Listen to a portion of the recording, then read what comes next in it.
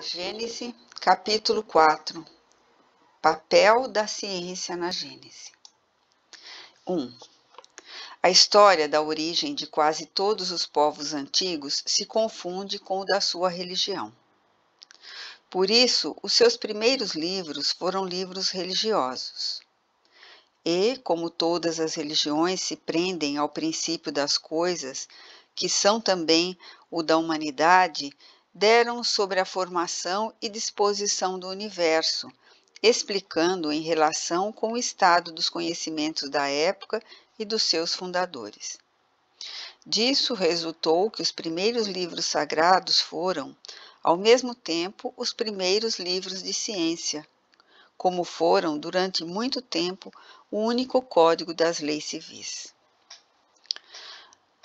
2. Nos tempos primitivos, os meios de observação eram necessariamente muito imperfeitos. As primeiras teorias sobre o sistema do mundo deviam estar maculadas por erros grosseiros. Mas, tivessem sido esses meios tão completos como o são hoje, os homens não teriam sabido deles se servirem.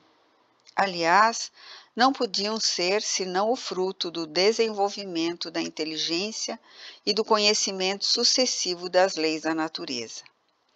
À medida que o homem avançou no conhecimento dessas leis, penetrou os mistérios da criação e retificou as ideias que fez sobre a origem das coisas.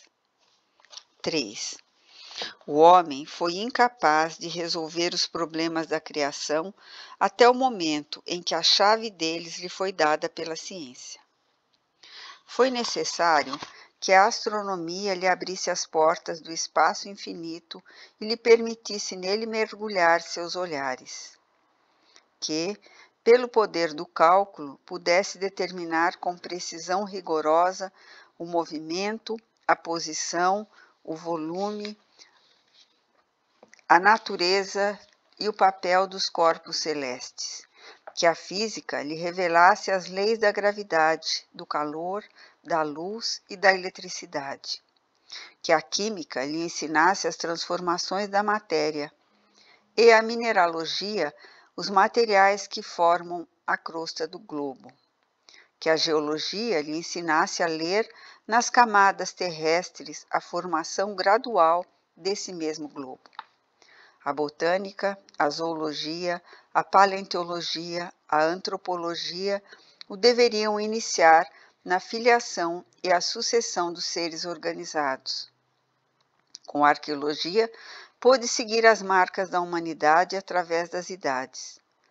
Todas as ciências, em uma palavra, completando-se umas com as outras, deveriam trazer o seu contingente indispensável para o conhecimento da história do mundo. Na sua falta, o homem tinha por guia somente as suas primeiras hipóteses. Também, antes que o homem possuísse esses elementos de apreciação, todos os comentaristas da Gênese, cuja razão se furtava às impossibilidades materiais, volteavam no mesmo círculo, sem poderem dele sair e só o puderam quando a ciência abriu o caminho, abrindo brecha no velho edifício das crenças.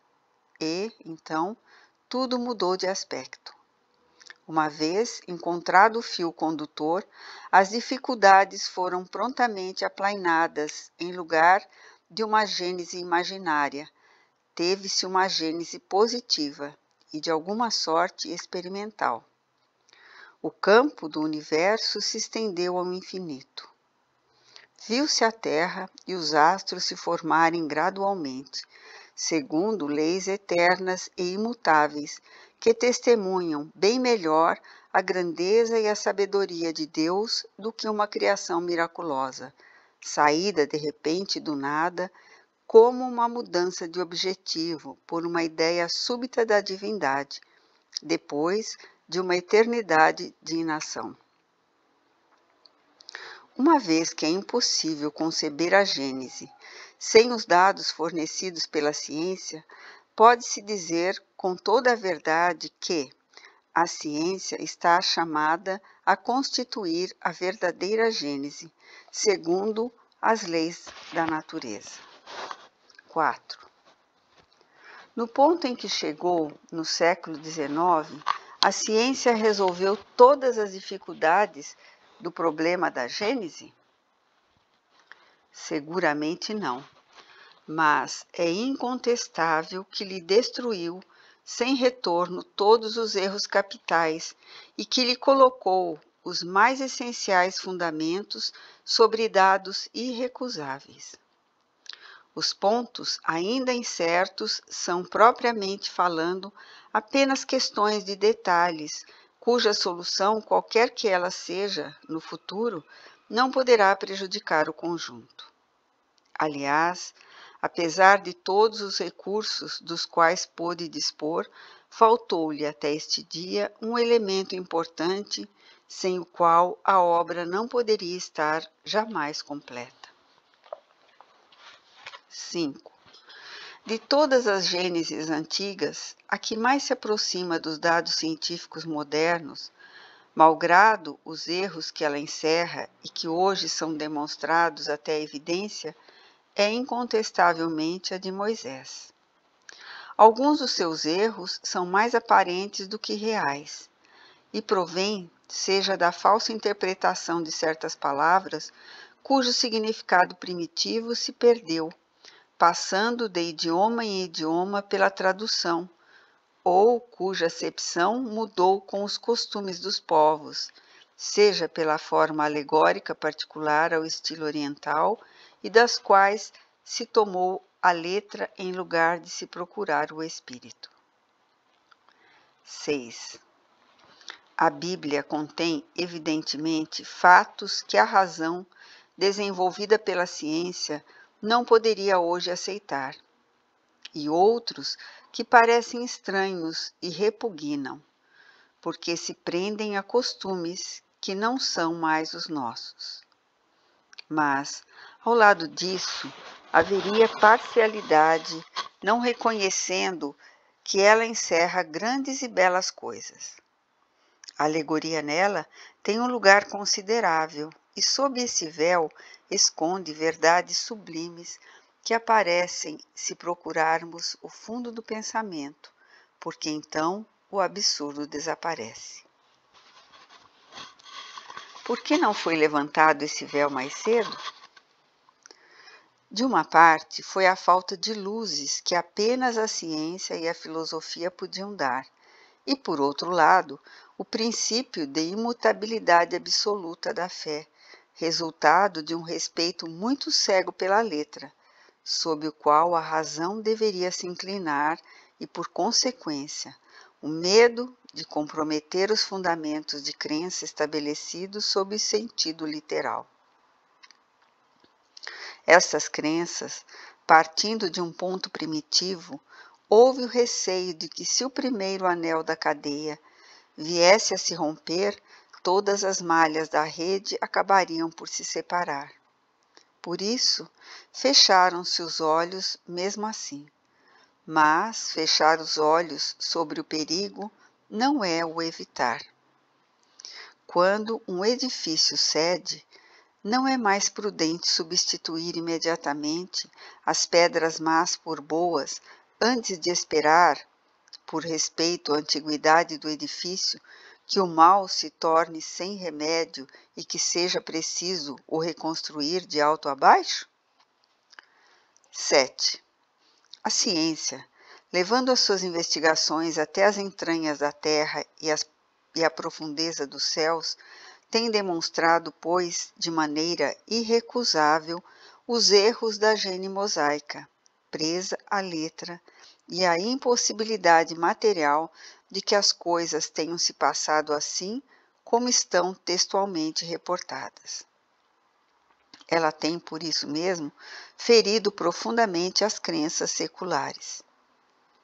A fé ortodoxa, com isso, impressionou-se porque passou ver a sua pedra de toque retirada, mas quem deveria ter razão? A ciência, caminhando prudente e progressivamente sobre o terreno sólido dos números e da observação, sem nada afirmar antes de ter a prova na mão, ou uma relação escrita numa época na qual os meios de observação faltavam absolutamente? Quem deve prevalecer, afinal de contas? Aquele que diz que 2 mais 2 são 5 e se recusa a verificar, ou aquele que diz que 2 mais 2 são 4 e o prova? 8. Mas então, disse: se a Bíblia é uma revelação divina, Deus está, pois, enganado? Se não é uma revelação divina, não tem mais autoridade e a religião desmorona por falta de base. De duas coisas, uma. Ou a ciência está errada ou tem razão. Se tem razão, não pode resultar que uma opinião contrária seja verdadeira. Não há revelação que possa se impor sobre a autoridade dos fatos. Incontestavelmente, Deus, que é todo verdade, não pôde induzir os homens em erro, nem consciente nem inconscientemente, sem o que não seria Deus.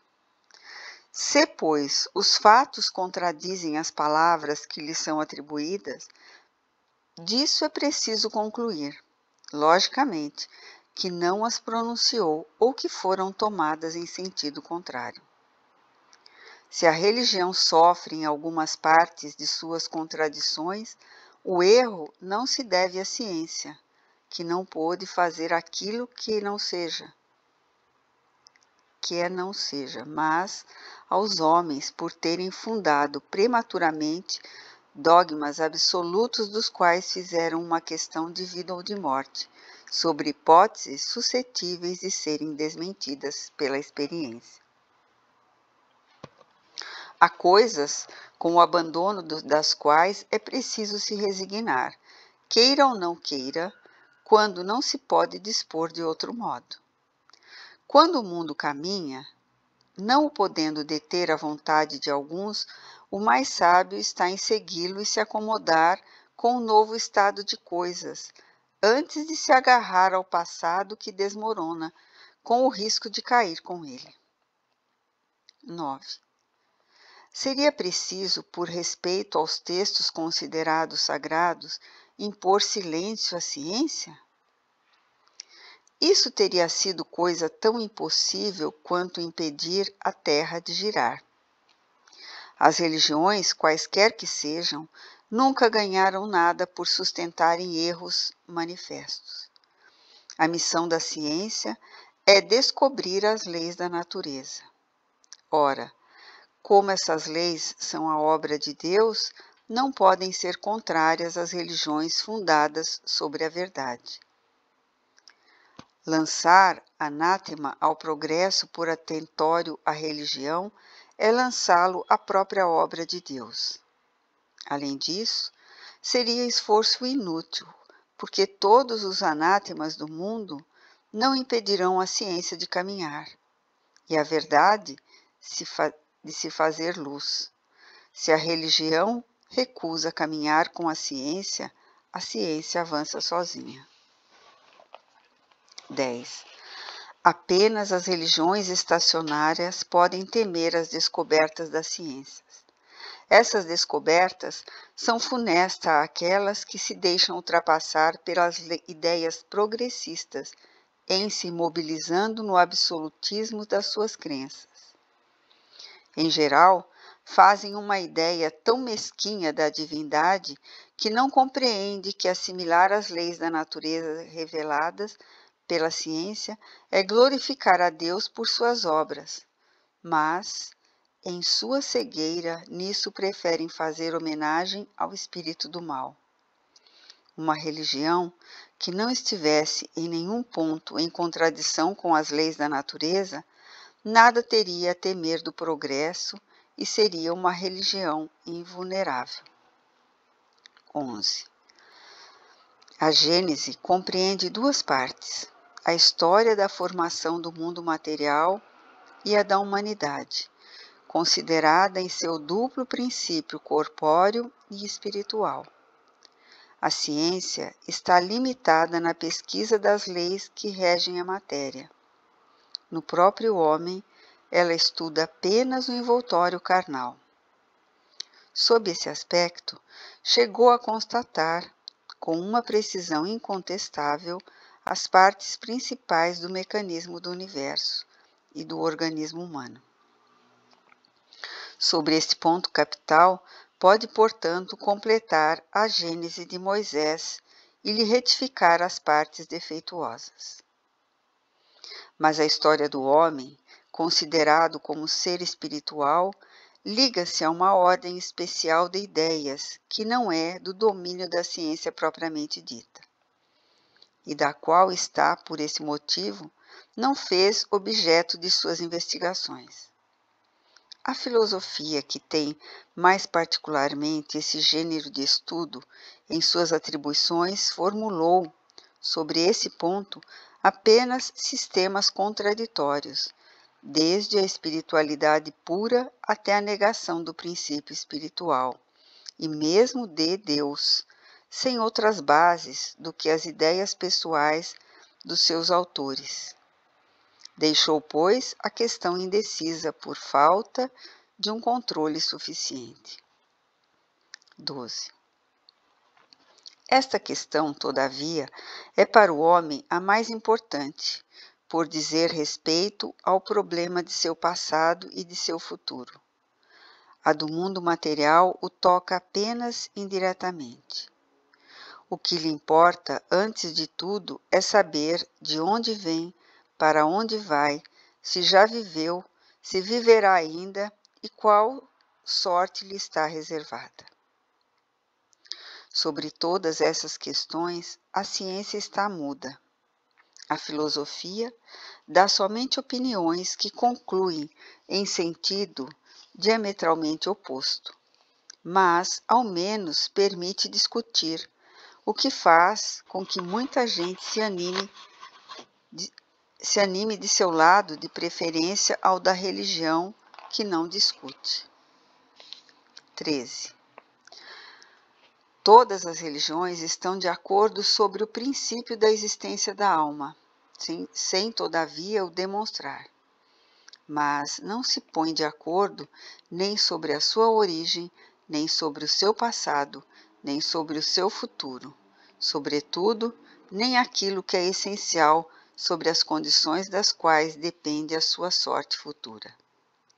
Elas fazem, na maioria de seu futuro, um quadro imposto à crença de seus adeptos, que pode ser aceito somente pela fé cega, mas não pode suportar um exame sério. O destino que dão à alma, estando ligado em seus dogmas às ideias que se fizeram do mundo material e do mecanismo do universo nos tempos primitivos é inconciliável com o estado dos conhecimentos atuais. Não podendo, pois, se não perder ao exame e à discussão, acham mais simples proscrever um e outro. 14. Dessas divergências relativas ao futuro do homem nasceram a dúvida e a incredulidade. Todavia, a incredulidade deixa um vazio penoso. O homem encara com ansiedade o desconhecido, onde, cedo ou tarde, deverá entrar fatalmente. A, idade, a ideia do nada o gela. A sua consciência lhe diz que há algo além do presente. Há para ele alguma coisa, mas o que? Sua razão desenvolvida não lhe permite mais aceitar as histórias que embalaram a sua infância, tomar a alegoria pela realidade. Qual é o sentido dessa alegoria? A ciência rasgou um canto do véu, mas não lhe revelou o que mais importa saber.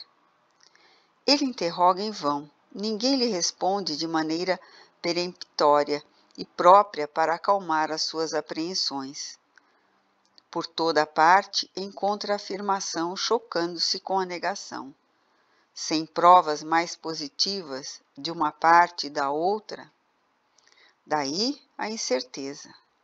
E a incerteza sobre as coisas da vida futura faz com que o homem se arroje, com um certo frenesi sobre as coisas da vida material. Tal é o inevitável efeito das épocas de transição. O edifício do passado desmorona e o do futuro não está ainda construído. O homem está como o adolescente, que não tem mais crença ingênua dos, dos primeiros anos e não tem ainda os conhecimentos da idade madura. Tem somente vagas aspirações que não sabe definir. 15. Se a questão do homem espiritual permaneceu até os nossos dias no estado de teoria, foi porque faltaram os meios de observação direta que se teve para constatar o estado do mundo material, e o campo permaneceu aberto às concepções do espírito humano. Enquanto o homem não conheceu as leis que regem a matéria e não pôde aplicar o método experimental, errou de sistema em sistema com relação ao mecanismo do universo e à formação da Terra. E isso ocorreu tanto na ordem moral quanto na ordem física. Para fixar as ideias, tem faltado o elemento essencial: conhecimento das leis do princípio espiritual. Esse conhecimento estava reservado para a nossa época, como o das leis da matéria foi obra dos últimos dos dois últimos séculos. 16. Até o presente, o estudo do princípio espiritual, compreendido na metafísica, foi puramente especulativo e teórico. No Espiritismo, é todo experimental. Com a ajuda da faculdade medianímica, mais desenvolvida de nossos dias e, sobretudo, generalizada e melhor estudada, o homem se acha na posse de um novo instrumento de observação. A mediunidade foi, para o mundo espiritual, o que o telescópio foi para o mundo astral, e o microscópio para o mundo dos infinitamente pequenos. Permitiu explorar, estudar, por assim dizer, de visu, suas relações com o mundo corpóreo. Isolar no homem vivente o ser inteligente do ser material, de vê-los agirem separadamente. Uma vez, em relação com os habitantes desse mundo, pôde-se seguir a alma em sua caminhada ascendente, em suas migrações, em suas transformações. Pôde-se, enfim, estudar o elemento espiritual. Eis o que faltava aos precedentes comentaristas da Gênese para compreendê-las e lhe retificar os erros. 17. O mundo espiritual e o mundo material, estando em contato incessante, são solidários um com o outro. Ambos têm sua parte de ação na Gênese. Sem o conhecimento das leis que regem o primeiro, seria tão impossível constituir uma gênese completa, quanto o é a um estatuário dar, dar vida a uma estátua. Somente hoje, se bem que nem a ciência material nem a ciência espiritual tenham dito a sua última palavra, o homem possui dois elementos próprios para lançar luz sobre esse imenso problema. Era preciso, de toda necessidade, essas duas chaves para se chegar a uma solução, mesmo aproximada.